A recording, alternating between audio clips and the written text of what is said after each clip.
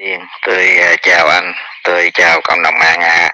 Hôm nay tôi quay lại vấn đề của cái thằng YouTube nhảy ranh ấy con ven đó. Hôm nay á, là cái ngày á, là à, nó về nhà mới nhưng mà nó tuôn ra những cái lời cay đắng cay nghiệt cho người lớn tuổi à nhưng mà nói thật sự ra mà nói á ê cái thằng youtube con con à, bám chéo áo đàn bà đó bám chéo áo uh, cùng ven đó à, mày à, nói là người già. À, người già ngồi lết gì hai thứ tóc đó. Nhưng mà mày chửi ngay và luôn cái thằng mà nó ngồi trong cái nhà mới của mày á cái thằng già đó đó. Nó dạy dỗ mày đủ mánh khóe hèn hạ đi núp một cái con đó là à, một đó là người vợ nghèo của người ta rồi đó là hốt tiền về á là xây nhà xây cửa á, rồi đó là là, là là là mày nên chửi ngay cái thằng đó á, cái thằng đó và cái con đó luôn nó cũng lớn tuổi đó. Đó mày chửi nó đi à, hổm rài tao nghe thấy mày cũng quay đầu là bờ. Ở việc ai nấy làm hôm nay mày xây á, là là là hôm trước thì mày xây cái ổ dâm dục cho con kia đó thằng lớn thằng nhỏ lợi đó khoe hàng khoe cũ này cũ kia. À, rồi đó là là là là ngày hôm nay á, là là là bắt đầu á, là mày xây cho cái ổ đó. Đó cái ổ đó đó mày chửi ngay cái thằng đó. Đó cái thằng đó nó suối mày đó. Cái gen di truyền của nhà mày đó. Đó chỉ biết bám chéo áo đàn bà. À, lừa là à, mọi người qua mắt mọi người. Đó tại sao á là là là à, từ lúc á, mày bám chéo áo con kia à mày thế là được nhà cao cửa rộng mà mày thấy không? Ma quỷ quan khiên á, nó nằm ở trong cái nhà của mày á. À, chứ mày đừng có nói là là gì à, nhân quả gì? À, nhân quả gì? Mày làm cái thằng đi lấy vợ người ta. À rồi mày vứt con người ta vào trại mồ côi. Đó rồi bây giờ đó mày làm cái chuyện thiện gì? Đây là chẳng qua là mày là cái thằng lừa đi chạy ráp cho người ta thôi à, chứ mày đừng có vậy là mày à, là qua mặt mọi người qua mặt mạnh thường quân. À, ở đây nè mày hàng ăn à, đó là tội nhân hàng á là là nhiều nhiều tội nhân cũng vậy trá hình với hình thức từ thiện cuối cùng rồi á là nhà nước cũng bạch ra hết rồi cũng vào vào lò thôi con ơi. À, nhưng mà cái chuyện đáng buồn nhất các bà con à, là hổm rài tưởng nó yên lặng ai ngờ hôm nay là là à, nó lên là bắt đầu á là à, từ cái vấn đề nó núp á là con kia con ven á để núp vào nhà phật một cách loạn luân nghiệt sức.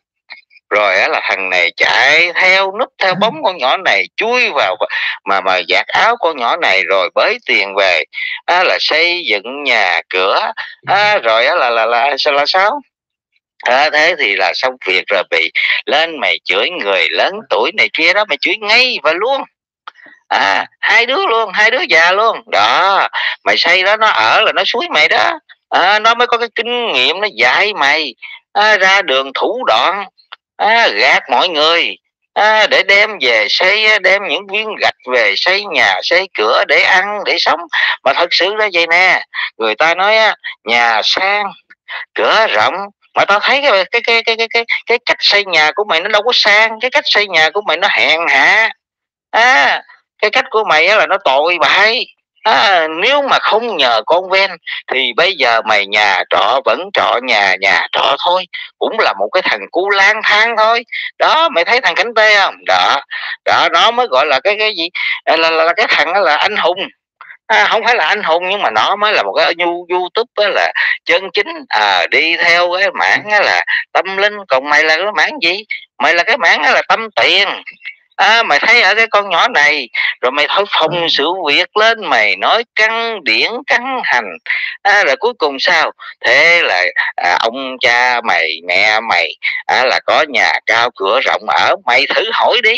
Tôi cũng xin hỏi bà con cộng đồng như thế này nếu như nó không núp vào chéo áo của con ven á nó không từ đó con quan chỗ con ven nói nó chui ra đó thì bây giờ nó được nhà cao cửa rộng không nó được nào là những phần quà đó không?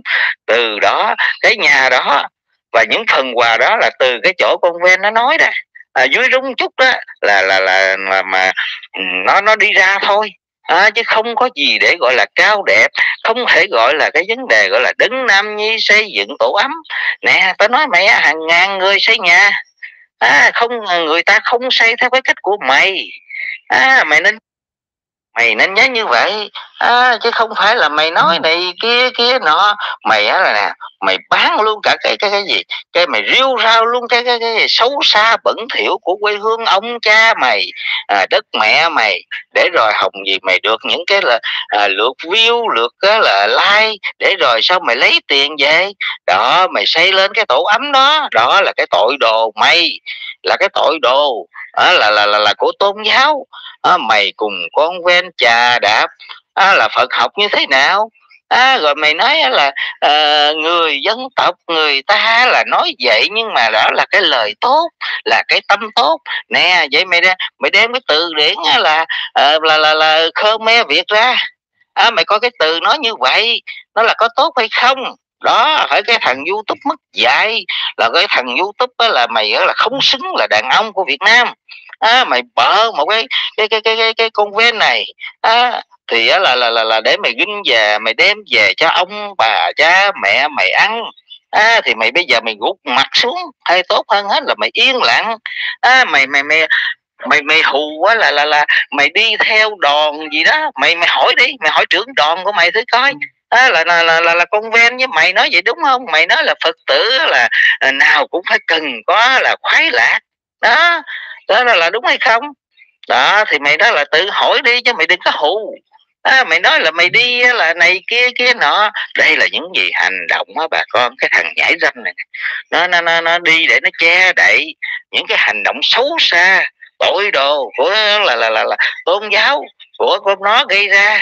Rồi để được gì cũng hồng đem về là à, một cái mái ấm. Thì thôi mày yên lặng mày gục đầu xuống. À, chứ cái cách xây nhà của mày là hèn hả nhà mày là tội chứ không phải là nhà sang cửa rộng đâu con à.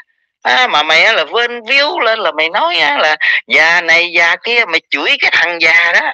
Nó lai sanh ra mày đó nó lai sanh ra những cái lời nói mà khiến là ngàn triệu người dân người ta thấu động lòng trời đó.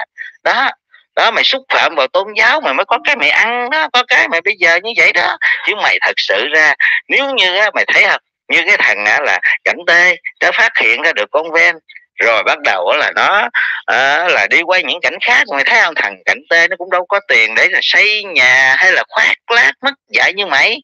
À, nó cũng là một đời youtube. À, à, đi là theo tâm linh còn mày. Mày là tâm tiền. Mày thấy chỗ nào có tiền á là mày là chạy vô đó mày khoan. Mà mày khoan nhầm cái chỗ quá tồi bại. À, mày có vào cái cái lời nói phải nói là xúc phạm với là à, Phật học Việt Nam à, nên nó là người ta lên án mày. À, chứ mày là đạo đức gì? À, mày là cái thằng chạy ráp thôi. À, chứ lật lưng mày ra là thật sự mày là một cái thằng lưu manh. À, mà lại là, là lưu manh là dòng à, tại vì cái thằng á trong đó đó trong cái nhà mày đó nó dạy mày à, nó cáo kỉnh lên lắm và nó mất dạy với mọi người. À, chứ mày đừng có nói là à, à, đúng chúng tao không đoàn phải là à, quan điểm với cuộc sống của mày vì cuộc sống mày là đàn ông là làm thằng tội à, mày tối ngày theo con quen con quen rồi bây giờ mày có cái tổ ấm mày có cái chỗ ông cha mày ăn uống rồi. Thì là bắt đầu bắt đầu mày chuẩn bị quýt ngựa tri phong. Mày nói là à, chở theo con quen là ôi là cực khổ dạng dặm đường xa. À, mà tao nói mày vậy nè con quen nó ngồi ở ngoài lề đường giữa trời đó bao nhiêu năm? Nó chết chưa?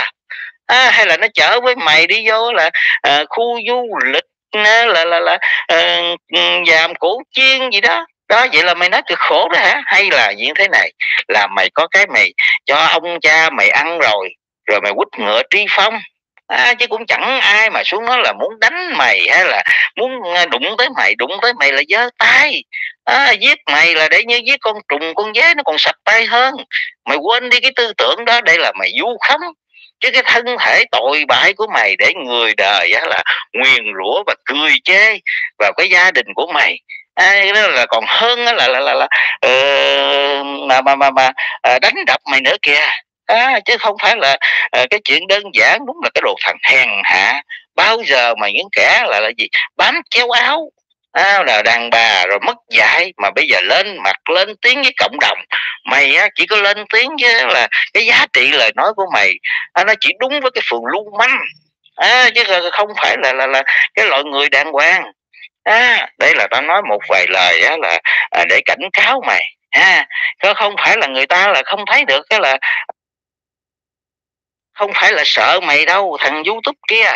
À, người mày không phải là cái thằng tốt bây giờ tao nói mày có nhảy xuống sông hoàng hà cội rửa là ba năm đi mày cũng không sạch được cái vết dơ đó đâu.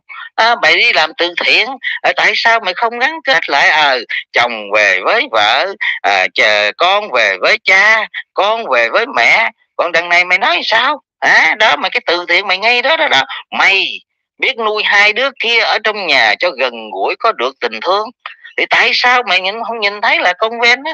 Mày không đem nó về con nó về. À, mày chỉ biết lại đó ấy ấy. Rồi bắt đầu lú tiền ra mày ăn mày đem về mày xây á là cái gia đình của mày. À, chứ mày biết gì gọi là đạo đức rồi biết gì gọi là cái sợi dây thiên liêng tình mẫu tử tình phụ tử. À, rồi mày còn nói vậy. À, là là à, cái xã hội này. À, là là là gì? À, nuôi con ở trong nhà chưa chắc bằng. À, là là là trại mồ côi nuôi à, tao cho mày uống lưỡi bảy lần lại mày hỏi cái thằng mà mày nói là già già gì đó. À, là nó trả lời cho mày nghe. À, đúng là cái đồ mất dạy. À, đúng là xã hội đáng nguyền rủa cái thằng youtube này. À, là một cái đồ hèn hạ. À, mày ngon mày đương trường. À mày làm như những nè tao chỉ cho mày. À, mày ngon nè là người đời người ta là là là là tôn trọng mày đó. Đó như cà phê trung nguyên người ta chỉ là một gì? Là là là, là tiền thân người ta chỉ là một sinh viên đó người ta tạo sự nghiệp bên ngàn ngàn tỷ ở trong nước và giới doanh nhân á là phải nói là đã đáng nể và phải đáng học hỏi. Còn mày là cái gì? À, mày chỉ là cái, cái một cái thằng lang thang không nhà không cửa. Đó rồi mày núp vào đó là ờ, con ven để mày xây dựng cái tổ ấm của mày rồi mày nuôi ông bà cha mẹ mày. Đó là cái sự nhục cái sự tội của thằng đàn ông. À, mà tội luôn cả ông bà mày kia đó à, tiền ăn ở đâu cũng từ ở cái váy áo đàn bà. Đó rồi đó là tiền ngủ ở đâu cũng từ đó. À, nhiều nhiều lắm. Nên ra đây là chỉ đó là cảnh cáo mày là hãy gục mặt xuống. Mày đâu có ngẩng đầu được đối với cái cái dạng mà mà mà uh, đại trưởng phu người Việt Nam. Mày không xứng mà mày không đứng chung với chúng tao được đó là cái điều tao khẳng định với mày à, chứ rồi, rồi mày mày mày nói là cái gì? Cái nhà mày là cái gì? Không? À, mà là bữa hổm mày đó mày đã đem cái một cái sự gì? À ăn uống xấu xa à, của quê hương đất mẹ đất cha mày. À, mày bán để mày đổi lấy đồng like đồng view. À, nhục nhã chứ con. Đó thì ông bà cha mẹ mày đó ăn ở đâu? Tôi nói đó. Bà con ở miền tây cũng nên thông cảm tôi. Nhưng vì thằng này nó môi ra cái xấu xa của bà con mình đó. À, mà tôi nói với mày à, là mày là nên nằm nghiên cứu. À, và tôi cũng có là à, vài lời á, là chào anh và chào cộng đồng mạng ạ. À. chúc á, là bà con cộng đồng mạng á, là một mùa xuân tươi vui ấm áp và dồi dào sức khỏe. Và các mạnh thường quân phải minh mẫn à, nhìn thấy được những cái, cái kẻ là núp lưng từ thiện.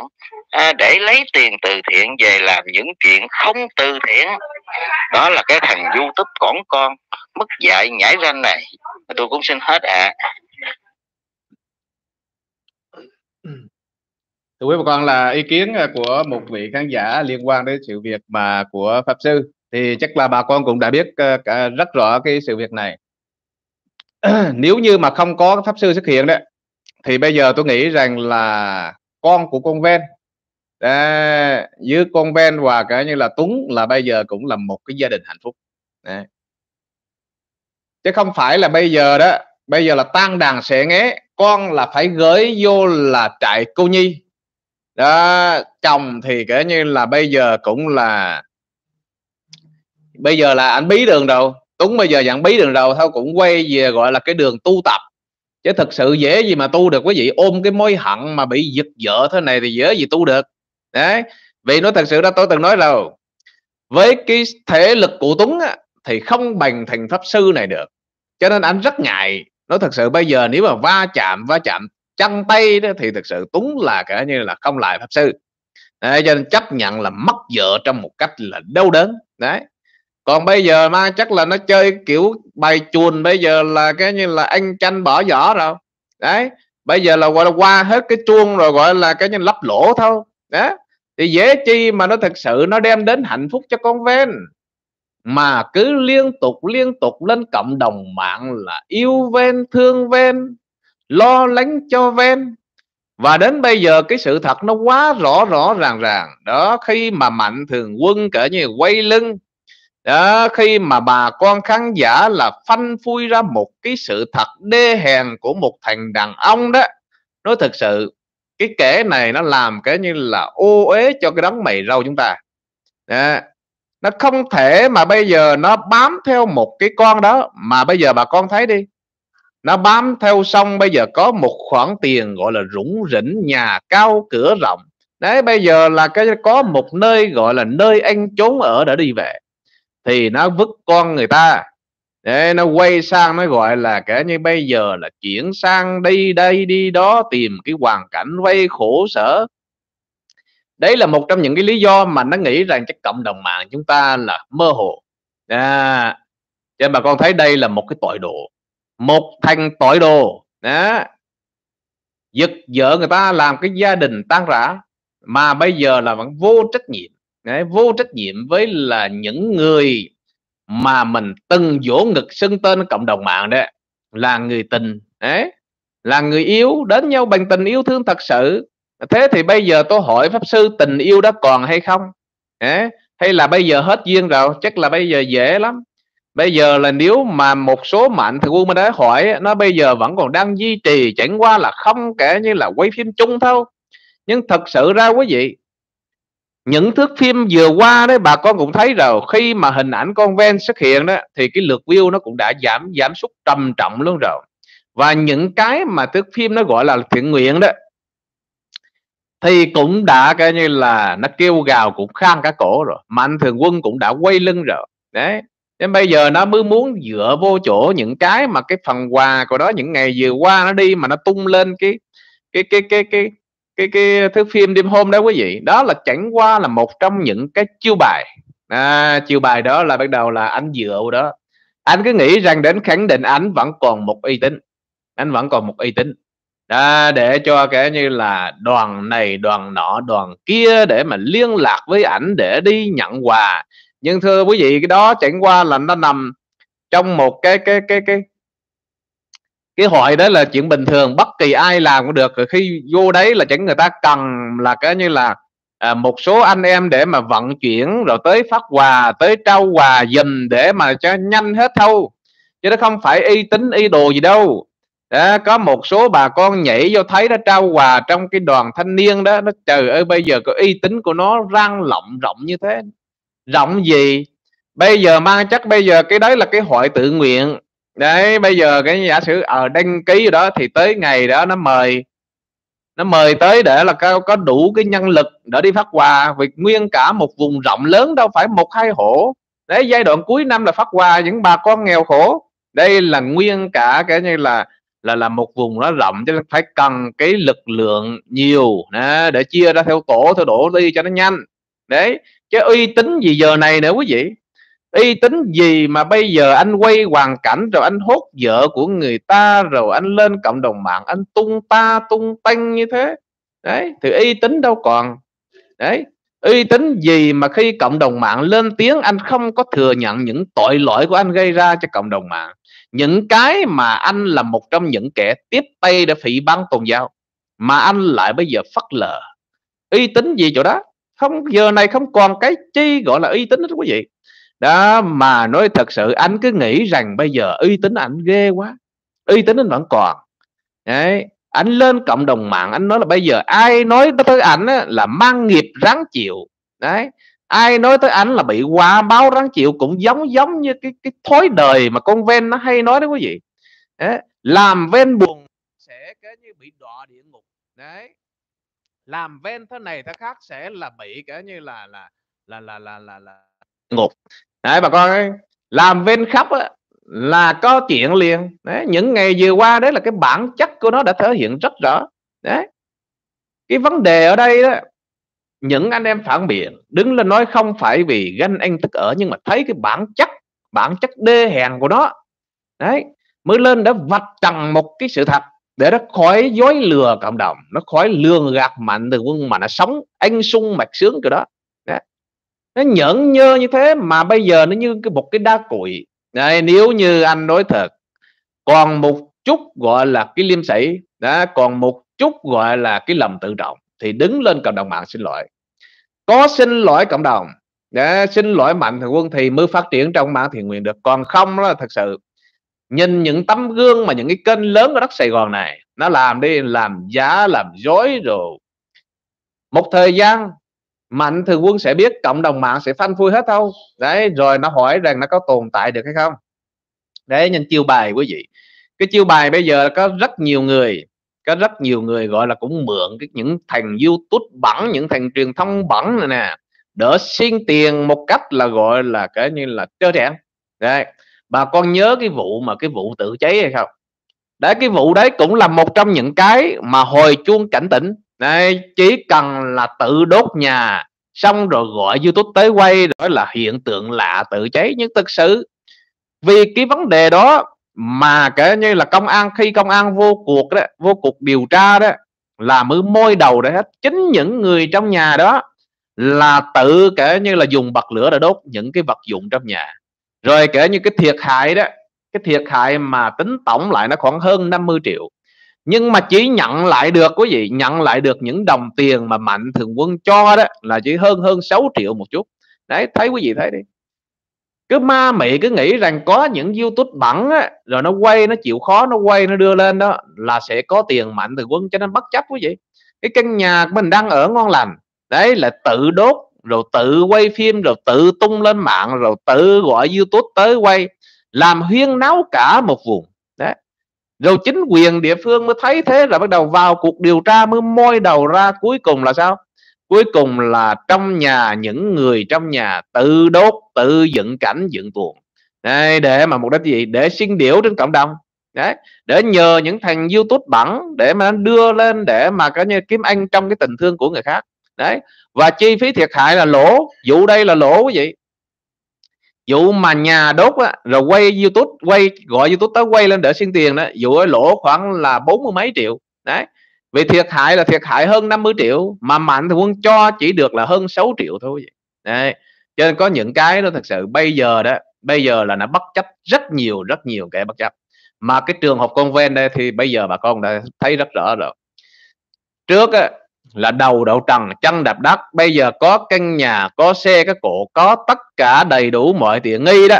Thì bây giờ là quay sang đường trung đạo. Ta phải biết yêu thương bản thân này chứ. Đó. Chính miệng nó nói trước là nó nói đầu đậu trần chân đạp đất.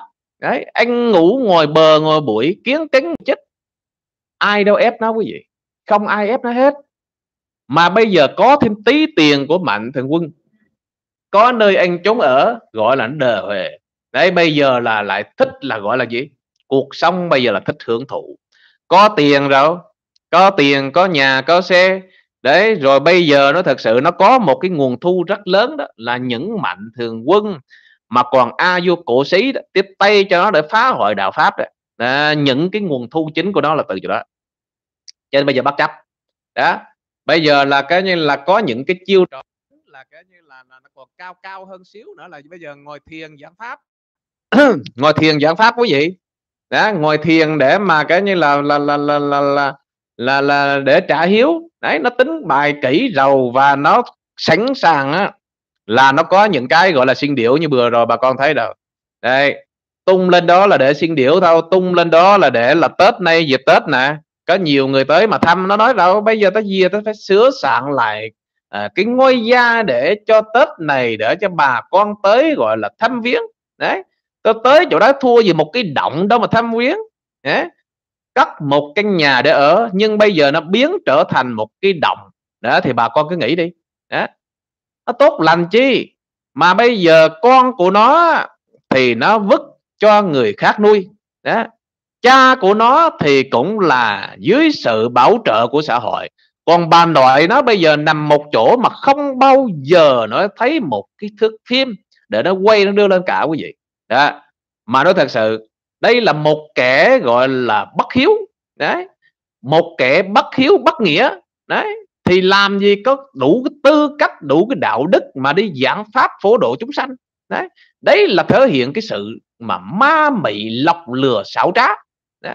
Mà chỉ có những kẻ như bây giờ pháp sư đó những kẻ như thằng nhật mùi đó những kẻ như con tê tê phút đó, thằng thoại vui vẻ chỉ có những kẻ mà mặt dày thiếu sự hiểu biết thiếu cái trình độ. Đấy mà tham ăn đấy, mới lao vô đó quý vị bám vô trong cái đấy con ven đó để kiếm ăn một cách bất chấp.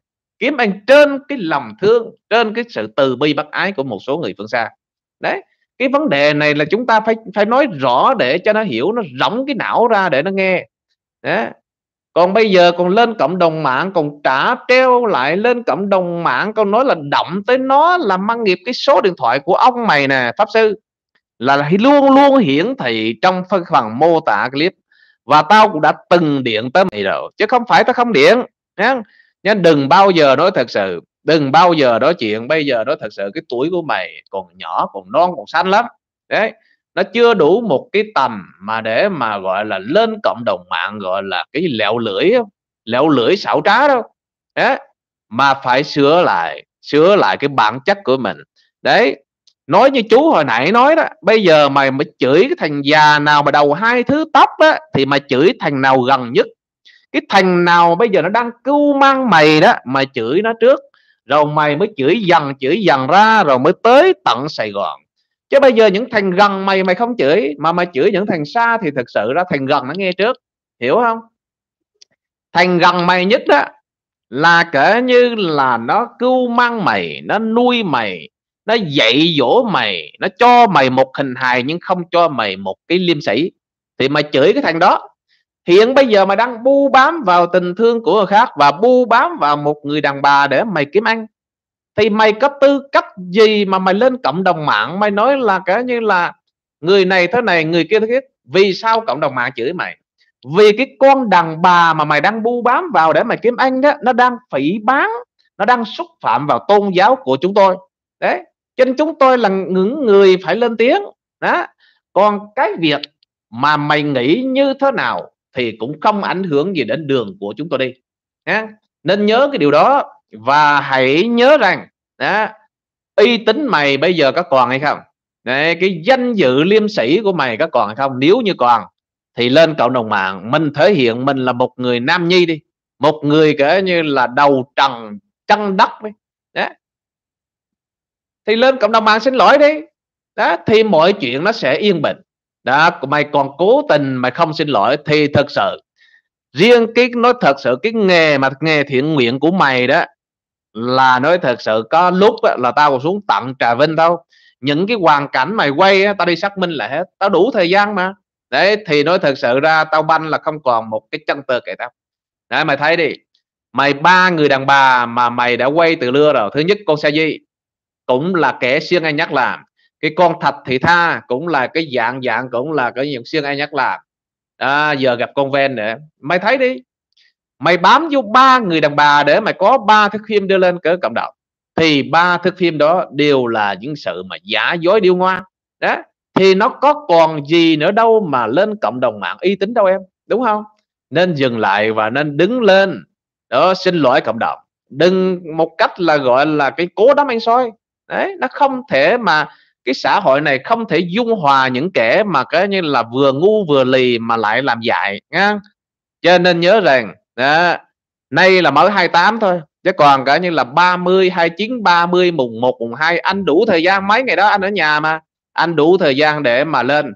Đó đủ thời gian để chơi với em thấy không? Cho nên đấy thì clip này tôi cũng xin thưa quý vị là cho tôi kết thúc tại đây nha. Một lần nữa thì à, kính chúc tất cả các bà con ở trong ờ, nước cũng như ngoài nước à, có một mùa xuân à, ấm áp bên gia đình thân yêu của mình và hẹn gặp lại tất cả các bà con à, vào tối nay 19 giờ 30 ở à, tại kênh là Công Tâm TV quý vị ha. Bye bye quý vị, hẹn gặp lại quý vị.